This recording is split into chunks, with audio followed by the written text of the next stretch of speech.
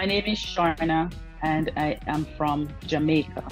In 2016, I came into America chasing the American dream. When I first got my visiting visa to come into America, I left my three children in Jamaica with the intention of bringing them here to be with me also. But it was not so. It did not happen. The promises that were made to me were never kept. You know, I came looking for a better life, better opportunities, especially for my children, because of the job opportunities here, I would be able to send them to university. Eventually, I overstayed, and uh, you know, it's either stay or go home for good. So I got here in 2016 and I got married, and none of the promises that were made were kept. So I ended up filing a VAWA. Somebody introduced me to a lady who could file our cases. She did file the case for me, and 2019, I got a letter from immigration. Basically, the letter was an intent to denial.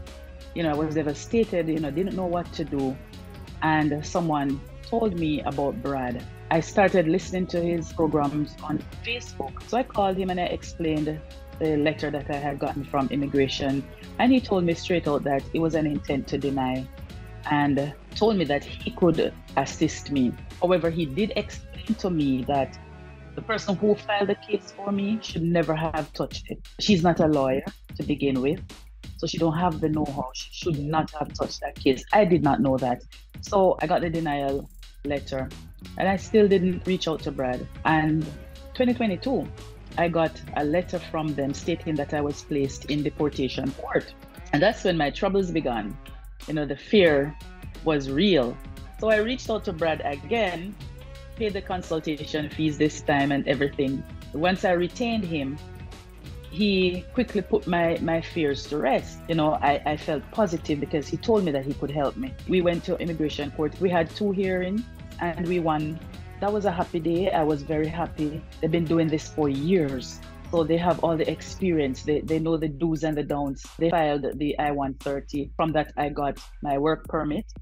And moving forward, I got my green card. So moving from deportation to being a green card holder, it's a blessing. No longer do I have to live in fear. You know, I don't have to be wondering they're really gonna come looking for me. You know, if I'm gonna be sent home, you know, be disgraced. I no longer have to be worried about that. I am a 10-year green card holder, a proud one I might and I'm very grateful for everything that Brad and his staff has done for me. Once I got the work permit, for me, it seemed like all the doors were now opened.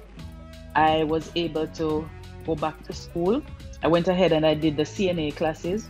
After doing the CNA classes, I went right into EKG phlebotomy.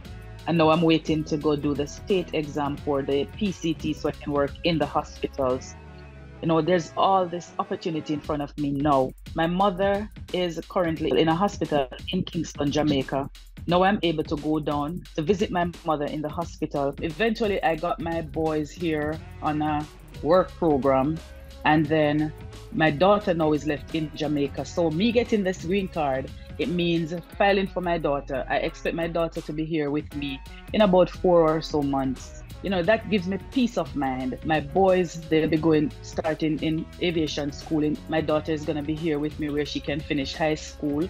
She has a dream of being an anesthesiologist and I know she's gonna get there because of this help that I was able to get from Brad's office. They're so helpful and encouraging. You know, they'll keep telling you, you know, keep fighting, not to give up.